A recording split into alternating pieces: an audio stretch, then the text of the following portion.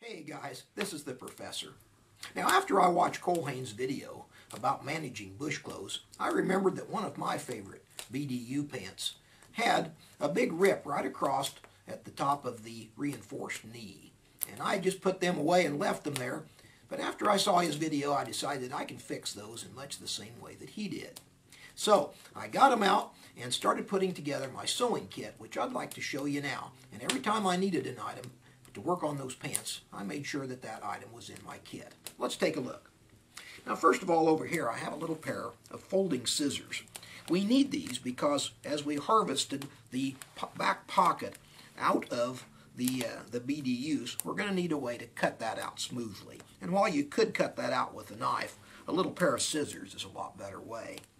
Another thing we're going to need is a way of taking out the side seams of the pocket without damaging or losing some of the fabric because I needed all of the fabric I could get. And so this little seam ripping device is a good way because you can hook that in and cut the stitches without damaging the fabric.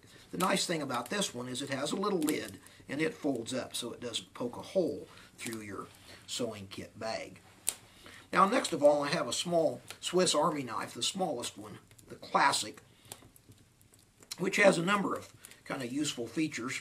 Here's a fingernail clipper and a small screwdriver. It also has a small blade. But what makes the thing really useful for our sewing kit here is the fact that it has a little miniature pair of scissors. And this is extremely nice for clipping the threads and keeping everything neat and organized when you're done. Now also we're going to need needles and for our needles here, we have a wide assortment because not only are you going to be sewing up your pants perhaps, but you may also have to sew up your tent, you may have to sew up your pack, you may have to put back uh, straps and so on off of your canteen gear. You're going to need a series of different size needles from the biggest down to the smaller ones. Now I suggest needles that have large eyes because they're a lot easier to thread up when you're out in the woods or somewhere else and uh, sometimes in low light conditions it's difficult. Over on this side we have some other needles. These are some curved ones which I find to be real useful for sewing up things like tent fabric and especially if the fabric's tough you can take your multi-tool and hold these now, a nurse that I know told us that oftentimes in surgery they use curved needles like this, using hemostats to push them through. The multi-tool would serve that purpose well.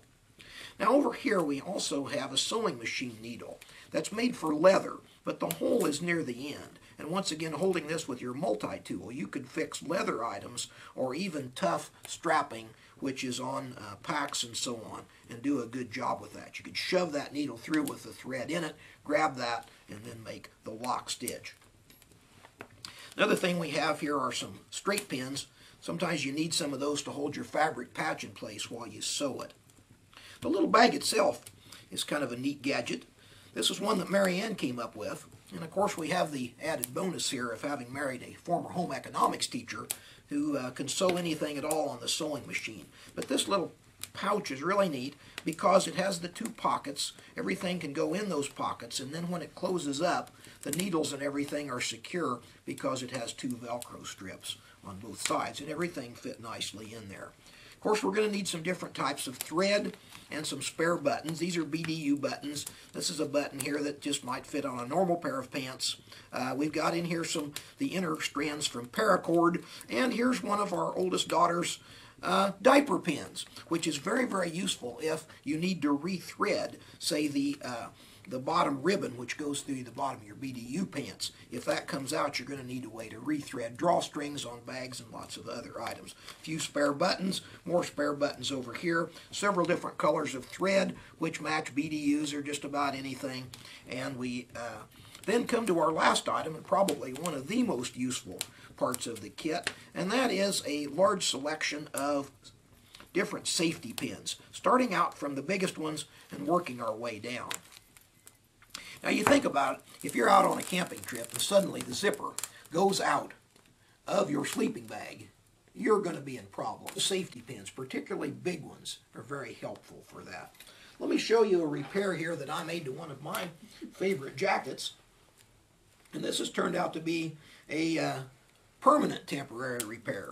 The zipper went out of my favorite old sweatshirt here, and so I grabbed some of my big safety pins to keep that closed, And while this is really not worth putting a new zipper in, I really do like this sweatshirt for bringing in wood and working around here at the cabin.